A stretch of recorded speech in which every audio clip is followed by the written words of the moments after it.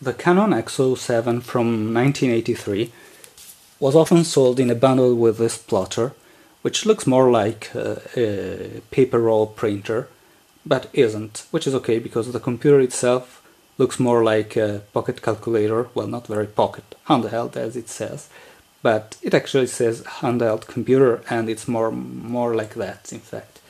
It is programmable in BASIC, which in itself uh, mm, was usual enough for programmable calculators too, and it does have a, a bunch of uh, mathematical and Greek style characters here, but this is just an overlay that comes off, and uh, there were different ones for other markets, like uh, to print Cyrillic characters, for example.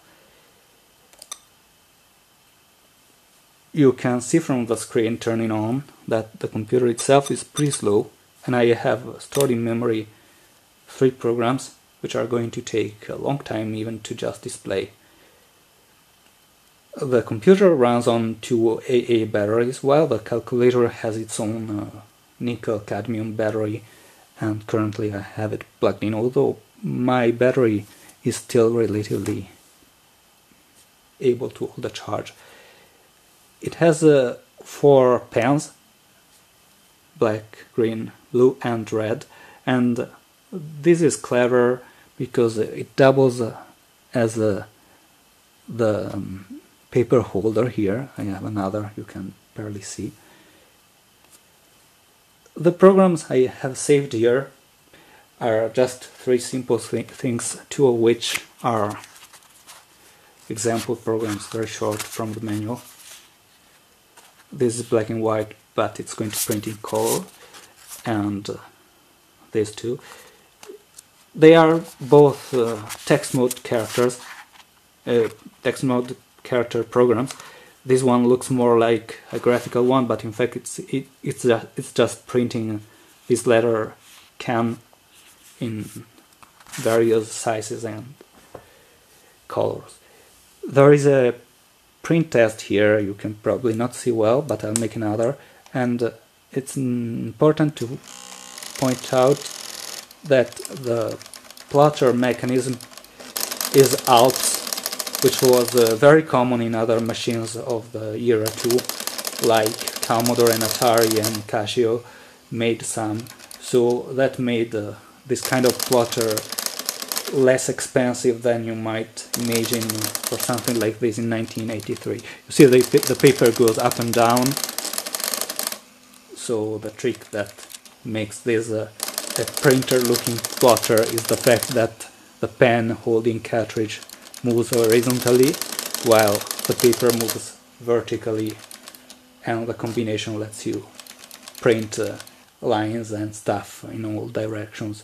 Although it doesn't print circles and uh, other versions of the firmware allow that in other computers I mentioned to the point the print test here is completely different and prints squares and, so, and circles and other fancier stuff than just this uh, mini version of the character set with uh, four colors. And also well I have a problem with the black cartridge. I have uh, three of them here but none none has any ink left while green and blue work okay and red not so much. Uh, let's go down, fed, fed, feed the paper a little and let's run the first program which is on line 100 so that's why I go to 100 and it's going to print it as I said in uh, various colors which is not going to look great considering that the four cartridges uh, some work some don't so it's going to look a bit messy as you already can see. Hopefully well enough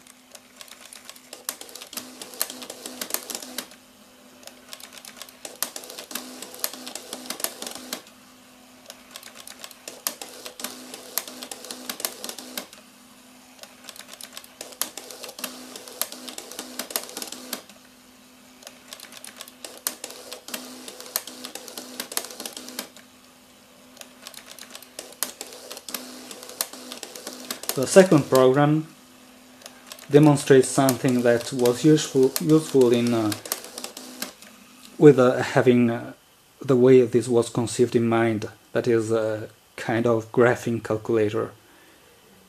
Because you you will see that it can print text vertically. Well you already did see that in the manual but anyway. And uh, I'm going to change change change the color first because that's not part of the program but if I don't I think it's going to print in black which is barely visible so I'll use the command I'll print square bracket uh, size which doesn't really matter in this case and number 2 which identifies the green pen.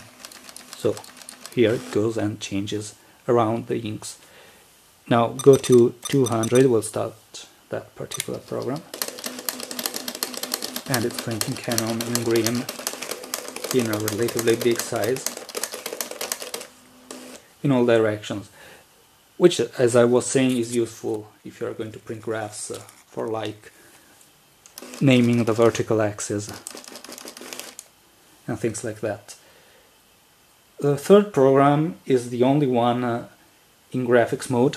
I will list it from line 300 to show, uh, actually 400 to show what it looks like roughly. I have to be pretty fast in stopping it if I want to show it in a way that can be understood. Well, it, the line that just went away printed character 18 in decimal and that's uh, uh, the magic trick that makes it go from text mode into graphics mode. The other commands here set a line type of 9. This means that I want a dotted line. Line type 0 is the only continuous line type, while from 1 onwards until 15, I think, it's uh, progressively larger strikes of the pen. While this is uh, again color number 2, although in graphics mode this is done in a slightly different way. And then from line 430 it actually prints a, a simple a simple pair of lines using the parameters I specified. So go to 400.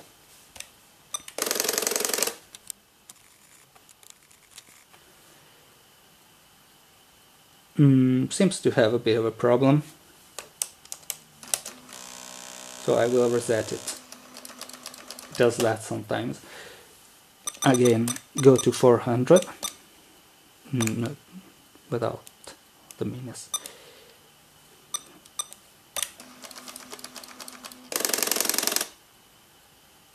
well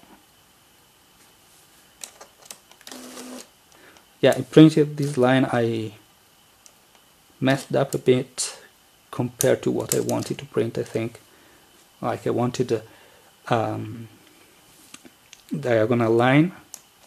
So let's reset again and uh, figure out my maths with uh, the x and y axis uh, I said it was a 430 the line that printed yeah. Mm, let's try from I'm actually just doing this at random. Mm. see it did print a few vertical lines here in the dotted pattern. But they don't look very interesting. I wanted a diagonal line too. Again go to 400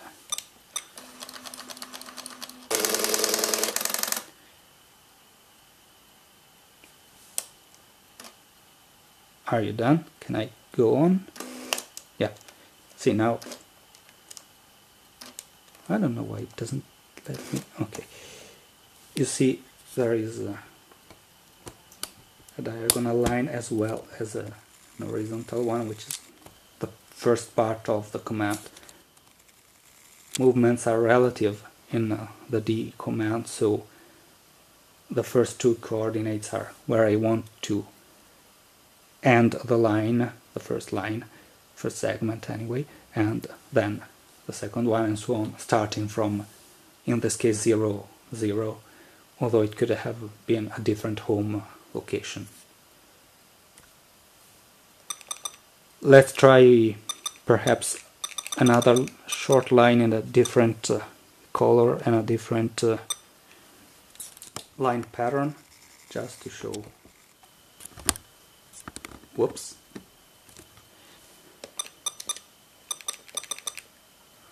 uh, typing random random numbers just in the hope of having skewed round lines of or something.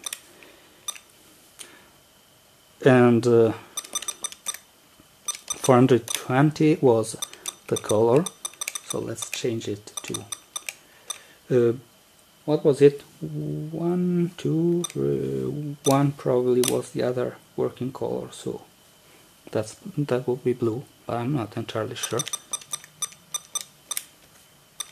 And uh, let's try a smaller line pattern. Actually let's try like 3 which is pretty small and we'll do something interesting in a sense.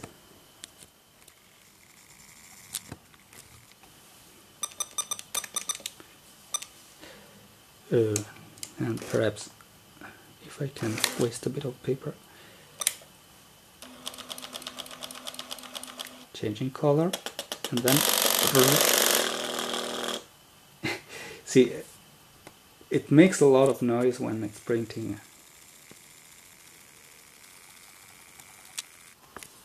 Dotted lines like this with small uh, segments. And it makes uh, an even stronger noise uh, if I make if I make uh, it the minimum size. Let's try although it will barely look like it's dotted at all. It's practically a continuous line at this point. Well that was fun. Um, there are much better examples of this on the internet with like fancy spirograph like uh, drawings which I cannot really do or at least be bothered to do with uh, this uh, keyboard and slightly slightly clunky programming style. So that's it. Hopefully my battery still lasts long so I can perhaps make another example of this later. This one I just have to remember not to melt the battery inside by leaving it on on on batteries forever while this one really should be charged every once in a while because the internal battery is nickel cadmium and special proprietary and so on it can be replaced but it's not easy to find another one if you if if you fry it